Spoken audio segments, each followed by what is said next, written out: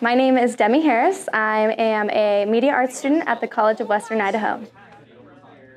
Today we were gathering B-roll for some of our packages that are going to be in the student broadcast, 30-minute student broadcast. I'm gonna film him filming me. Oh, whoa. B-roll, uh, in common terms, is just support video, gathering medium, wide, and tight shots that are going to be in the story and supporting the story.